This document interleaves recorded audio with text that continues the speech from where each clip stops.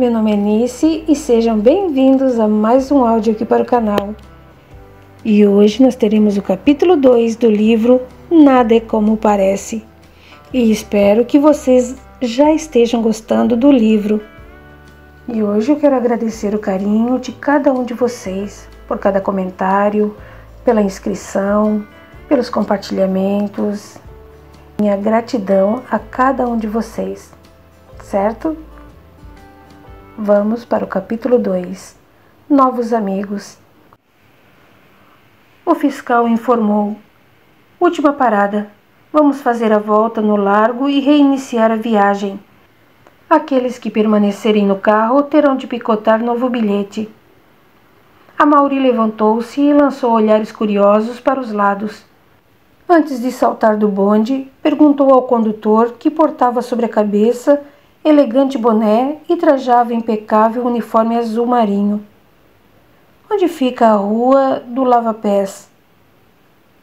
O condutor tirou a mão da alavanca e, num gesto largo, indicou: É só seguir em linha reta. Fica logo ali, não tem como errar. O rapaz desceu e seguiu as ordens do condutor. Enquanto seguia em linha reta, forçava seu arquivo de memória na tentativa de lembrar-se da casa e da senhora que o ajudara anos atrás. Estava tão absorto em seus pensamentos que não percebeu um desnível nos paralelepípedos ao atravessar a rua. Tropeçou e caiu, sentindo muita dor no joelho. Maldito seja! bradou. Está doendo muito? A Mauri continuou com as mãos sobre o joelho machucado, mas seus olhos foram lentamente subindo, numa tentativa de alcançar aquela doce voz. Alteou um pouco mais a cabeça e de súbito deslumbrou-se ao encontrar aquele par de olhos verdes serenos. Gaguejou ao dizer: Um pouco. Deixe-me ajudá-lo. A garota estendeu-lhe os braços. A Mauri levantou-se cambaleante. Vamos até em casa. Precisamos dar um remendo na calça, um pouco de mercúrio no joelho, mais um pedaço de linha e uma agulha vão resolver seu problema. Imagine, não se preocupe. Não quero dar-lhe trabalho, nem ao menos a conheço. Não seja por isso. Meu nome é Lúcia, disse a moça, logo estendendo a mão. A Mauri tirou os óculos e estendeu a mão em deferência. Prazer, meu nome é Mauri. Então já nos conhecemos. Venha, moro logo ali naquela casa. A Mauri encantou-se com os dentes perfeitamente enfileirados e que davam um toque gracioso ao sorriso dela. Enquanto a acompanhava, não pôde deixar de notar suas formas bem definidas os cabelos bem penteados à moda e o inebriante perfume que seu corpo emanava. Isso é um colírio. Como pôde uma beldade dessas estar neste lugar? Pensou. A moça percebeu os olhares galanteadores do jovem e, como ao ler seus pensamentos, tornou com naturalidade. Faz pouco tempo que estamos morando aqui. Foi muito duro baixar o nível de vida que tínhamos mas pelo menos temos um teto e boa vontade para trabalhar e continuar a viver da melhor maneira possível. Afinal de contas, tudo na vida não passa de experiências que, se bem aproveitadas, amadurecem o espírito. Desculpe, mas você não parece pertencer a este lugar. É tão bonita. Não me leve a mal. Não se trata de um flerte, mas parece que a conheço. Ela abriu novamente seus lábios em largo sorriso. Fomos vizinhos de infância. Morávamos perto de sua casa lá em Higienópolis. A Mauri parou de andar. Passou as mãos pelos cabelos, como a tentar lembrar-se da moça. Espere um pouco. Você não pode ser filha de. Diógenes de Lima Tavares? A própria. Desculpe, Volveu ele embaraçado. Estive fora muito tempo. Fiquei sabendo que sua família perdeu tudo. Quase tudo. Ficamos com esta casa aqui. respondeu Lúcia, apontando para um sobrado na esquina. O Wilson, meu irmão, trabalha na mercearia que fica no andar térreo. Pelo menos temos de onde tirar algum sustento. Não temos aluguel para pagar e aumentamos a renda com pequenos concertos de roupas que faço nas horas vagas. Mamãe também reservou algumas horas e dá aulas de piano. Seu pai era dono de fortuna considerável. Como perdeu tudo? Não sabemos ao certo. Nos últimos anos, papai foi deixando todos os negócios nas mãos de Dr. Rodolfo Nascimento e Silva. Já ouvi comentários negativos a respeito dele. Sim, mas o Dr. Rodolfo sempre foi correto com papai. Não acha estranho seu pai perder tudo? E o Dr. Rodolfo, como está? O Dr. Rodolfo muito nos ajudou. Graças a ele, ficamos sabendo da existência desse sobrado. Papai torrava o dinheiro em cassinos clandestinos. Pelo que sei, o Dr. Rodolfo vive com dividendos de aluguéis. Uma lágrima teimou em descer pelo canto dos olhos de Lúcia. A Mauri procurou contemporizar. Não precisa dizer mais nada. O que aconteceu com vocês é delicado e só o tempo vai ajudá-los a esquecer. E quanto a seu pai? Lúcia chorou. A Mauri ficou quieto de cabeça baixa. Alguns segundos depois, a moça passou as mãos pelos olhos úmidos e levemente inchados. Desculpe, tudo ainda é muito recente. Sofremos um duro golpe. Papai não aguentou o baque e seu coração não suportou tamanha pressão. A Mauri tirou um lenço de seu bolso e estendeu-o para Lúcia. Com voz pigarreante, considerou. Não sabia que as coisas sucederam dessa maneira. Só soube que vocês haviam perdido tudo. Afinal, nossas famílias nunca se falaram. Lúcia limpou os olhos e assoou o nariz. Quase fomos execrados nos jornais e mamãe vem se recuperando aos poucos. É uma mulher digna e valente. Enfrentou tudo de cabeça erguida. Ela até tentou contatar as amigas do passado, Dona Chiquinha e Dona Eulália, mas em vão. As duas recusaram-se a recebê-la. A Mauri pousou o dedo no queixo. Muito estranho o comportamento de minha mãe. Não sabemos o que aconteceu no passado. Por essa razão, não podemos julgar a atitude das pessoas. Sempre achei Dona Cora uma mulher extraordinária. E é. Lúcia parou na esquina e disse: Chegamos, vamos subir. Vou arrumar sua calça, passar um pouco de mercúrio nesse joelho e lavar seu lenço. Não há necessidade. Não, senhor, vamos. Já ouviu lamúrias suficientes. Creio que mamãe vai gostar de saber que conhecidos de outros tempos andam por aqui. E por falar nisso, o que o trouxe até este lugar? A Mauri titubeou, mordeu os lábios e por fim respondeu: Estou à procura de uma senhora que me ajudou anos atrás. Ajudado por uma senhora que mora por esses lados? Muito estranho. A Mauri ruborizou, tentou dissimular. Era amiga de uma empregada nossa, nem sei ao certo seu nome. Sei que mora numa travessa por aqui. Uma senhora de meia idade, com voz pausada, sorriso bondoso. Por certo, não a conhece. São poucas as referências. Lúcia voltou a sorrir. Moro aqui há quase um ano. Posso verificar. Sabe o nome dela, pelo menos? A Mauri meneou a cabeça negativamente. Não, mas ainda me lembro da casa e de seu rosto simpático. Sei que é por aqui. Vou perguntar à mamãe. Ela quase não sai de casa, mas recebe alguns alunos da redondeza para as aulas de piano. Lúcia abriu a porta e puxou delicadamente a Mauri pela mão. Subiram alguns lances de escada e chegou à pequena sala decorada com móveis que denunciavam o bom gosto e a estirpe daquela família. Perspassou o olhar ao redor e foi convidado a sentar-se. A Mauri sentiu o pesado mal-estar e logo uma tontura quase o levou ao chão. Não percebeu que um espírito abatido e triste chorava, acocorado a um canto da sala. Lúcia notou o mal-estar. O que se passa? Você está pálido. A Mauri procurou disfarçar, mas sentiu-se sufocar. Lúcia assustou-se. Vou buscar um copo de água com açúcar. Deve ter sido tombo. O espírito de Diógenes continuava chorando triste a um canto da sala. Estancou o choro ao notar que a Mauri o fitava incrédulo. Você pode me ver? A Mauri arregalou os olhos, fechou-os e tentou fazer uma prece, mecanicamente. Diógenes tornou impaciente. Está me vendo? A Mauri fez sinal afirmativo com a cabeça.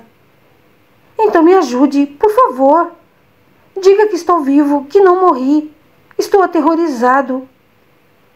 A Mauri aproveitou que não havia ninguém na sala e falou em tom baixo, com voz trêmula.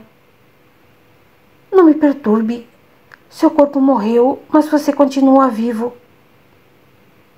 Mas você pode me ver, pode comunicar-se comigo. Sei que há pessoas com essa capacidade. Só me falam que estou em outra dimensão. Quero sair daqui, voltar para minha família. Isso é impossível. Não, você precisa me ajudar. A Mauri estremeceu. Como? Não sei, fale com minha esposa. Ela pode me tirar daqui. Embora eu fique a seu lado, suplicando que me ouça, ela não me escuta. Finge que não me vê. Diógenes ia continuar, não fosse uma dor aguda em seu peito a incomodá-lo. Nesse momento, uma luz forte e brilhante cresceu e um espírito de aura reluzente apareceu na sala. Tocou-o no peito e imediatamente a dor cessou. Em seguida, disse: Venha comigo. Chegou a hora de refazer-se. Toda vez que se ligar à sua família, a dor no peito voltará. Seu perispírito ainda carrega as dores do infarto. Você não está bem. Precisa de tratamento. Diógenes respondeu nervoso. Não quero voltar para o hospital. Estou farto de tantos cuidados. Você, quem sabe? O espírito afastou-se um pouco de Diógenes e a dor em seu peito voltou com mais intensidade. Ele se atirou ao chão e suplicou: Pelo amor de Deus, livra-me disso. A Mauri, que antes se encontrava assustado e trêmulo, ao reconhecer o espírito que acabara de chegar, levantou-se do sofá indignado, alteou a voz, dizendo: Doutor Inácio, mas que papelão me fez passar outro dia, não? Inácio sorriu e respondeu: Desculpe, meu filho, mas eu não podia chegar até você de outra forma. Custava dizer que havia morrido? Não queria assustá-lo, só omiti um detalhe. Detalhe este que fez seu filho quase me esfolar vivo. Conversaremos com mais calma em outra oportunidade. No momento, preciso afastar Diógenes. Sua mente perturbada espalha energias que atrapalham a harmonia desse lar. E não precisa me chamar mais de doutor. Aqui no astral ficamos sós com um nome, sem títulos. A Mauri ia responder, mas Inácio e Diógenes sumiram num piscar de olhos. A claridade ainda não havia cessado quando Lúcia voltou da cozinha trazendo numa pequena bandeja um copo de água com açúcar. Desculpe a demora, fui buscar açúcar na mercearia lá embaixo. Fui pelos fundos e ajudei Wilson no caixa, mas noto que houve algo por aqui. Como assim? Você estava pálido e agora parece corado, além de zangado. Ouvi você gritar. Estava falando sozinho? A Mauri baixou a cabeça envergonhado apanhou o copo de água, bebericou alguns goles e sentou-se novamente. Estava reclamando comigo mesmo deste mal-estar que me acompanha há anos. Mamãe sempre disse que toda sensibilidade mal educada pode provocar desequilíbrios em nosso corpo físico. A Mauri surpreendeu-se. Mamãe disse isso? Ela sempre diz. É por essa razão que estamos vivendo bem. A maneira como mamãe nos ajuda a entender o porquê de nossas experiências só nos fortalece. Como pode ser isso? Estudando, experimentando, observando os mecanismos e as leis da vida. Uma voz doce e firme inundou o ambiente, concluindo: É verdade, pois a prática é mestra sábia que nos conduz ao bem sempre. Ambos voltaram seus olhos para a porta da sala. Lúcia exultou. Mamãe! Cora entrou na sala carregando sob os braços alvos e delicados algumas partituras.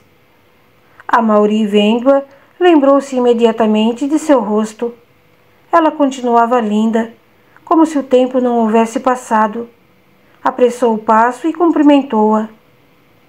Que prazer enorme em revê-la! A jovem senhora beijou-o na face. Prazer em revê-lo, meu filho. Como vai você? Muito bem, obrigado.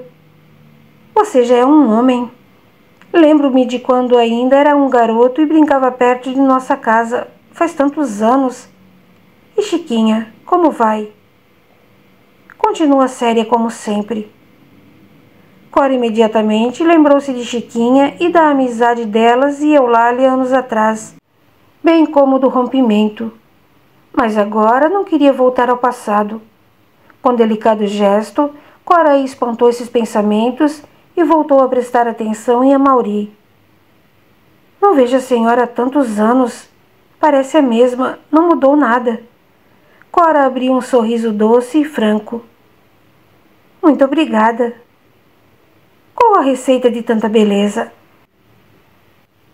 Procuro estar em paz comigo mesma e mantenho meu coração e minha consciência ligados o tempo todo no bem, nos verdadeiros valores do espírito. A Mauri emocionou-se. Lúcia continuou. É com esta maneira de encarar a vida que estamos enfrentando os desabores.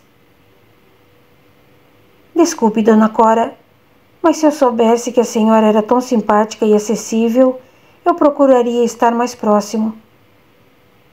E por que não o fez? A Mauri coçou a nuca, baixou os olhos. Cora compreendeu de pronto. Se não quiser, não diga. Aqui neste abençoado lar, ninguém faz o que não quer. Aqui procuramos dizer a verdade, sem rodeios, concluiu Lúcia. Vocês estão certas, retrucou a Mauri. Mas mamãe tinha a impressão errada a seu respeito. Vivia dizendo que a senhora era petulante, queria ser a dona da verdade, não gostava de frequentar a sociedade, que tudo o que aconteceu. A Mauri pigarreou. Cora continuou sustentando seu olhar e Lúcia inquiriu. O que aconteceu aconteceu por castigo de Deus, que a senhora está pagando por ter sido metida em snob. A Mauri ruborizou por completo. Não precisa ficar desse jeito, meu jovem, disse amorosamente Cora. Todos têm o direito de pensar e idealizar as pessoas como quisermos. Possuímos a mente e com ela o dom de criar situações, como também de enxergar os outros de acordo com o nosso senso de realidade. Mas a senhora me parece tão bacana. Por que minha mãe tem uma imagem negativa a seu respeito? Não considero imagem negativa, e sim uma imagem que não condiz com a minha verdade, mas com a verdade dela. Eu sempre tive meu jeito de ser, nunca o perdi, seja por causa do casamento ou da sociedade.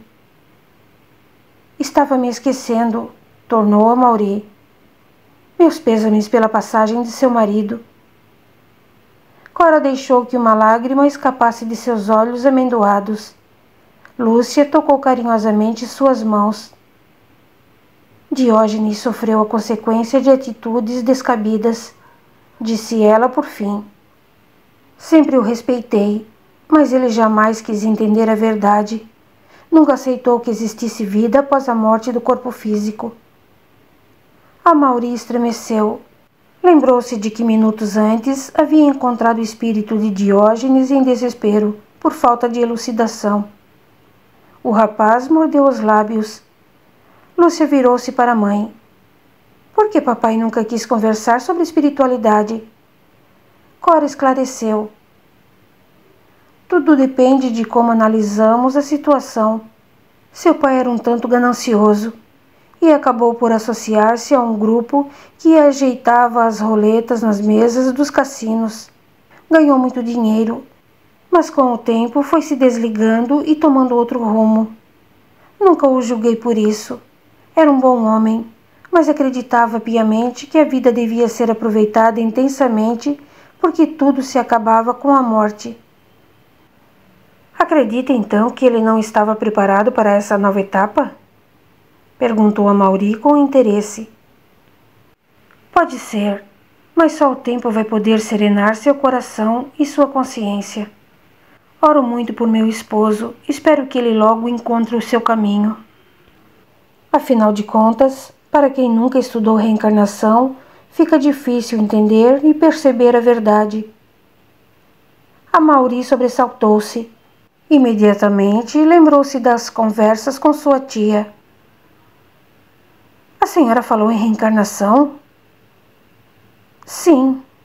Sempre acreditei na reencarnação em vida após a morte. Talvez por isso tenha sido repudiada pela sociedade.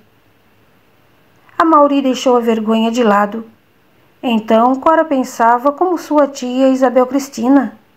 Era inacreditável. Com ar interessado, inquiriu: Dona Cora, a senhora acredita que possamos ver ou nos comunicar com os mortos? Por certo, meu filho, eu sempre acreditei. Infelizmente não possuo o canal da vidência apurado. Nada vejo, somente sinto. Como assim? Percebo as energias ao redor. Todos podem desenvolver e educar esse dom. É uma característica natural do ser humano. Mamãe, interrompeu Lúcia. É por isso que vem sentindo arrepios aqui em casa? Sim, mas é muito estranho. Não estou percebendo nada por hora. E virando-se para Mauri, Desculpe, meu filho, mas desde que nos mudamos tenho sentido umas energias esquisitas em casa. A prece tem sido uma grande auxiliadora neste momento. Ultimamente estava insuportável uma energia de mágoa e tristeza imensas pairavam no ar. Cheguei a pensar muitas vezes em Diógenes, mas o ambiente agora está calmo. Parece que não há nenhuma energia perturbadora em nosso lar. Enquanto continuava a conversa, a Mauri interessava-se mais e mais em saber sobre a vida espiritual, porquanto o que Cora havia falado sobre o ambiente carregado condizia com os dizeres de Inácio minutos antes. A Mauri estava extasiado, pois Cora tinha uma desenvoltura natural, segura e carismática de discorrer sobre o assunto, muito parecida com a de sua tia Isabel Cristina. No fim da tarde, mesmo a contragosto, ele se despediu das duas. No caminho para casa, foi se lembrando de tudo que passara momentos antes. Esquecera-se, inclusive, de perguntar a Dona Cora sobre a benzedeira. Mas não faltaria oportunidade. Na próxima semana voltaria, pretextando aproximar-se de Wilson. Já dentro do bonde, agradeceu mentalmente Inácio, que, mesmo à distância, recebeu o agradecimento e o devolveu com ondas de amor que a Mauri imediatamente sentiu através de gostosa sensação de bem-estar.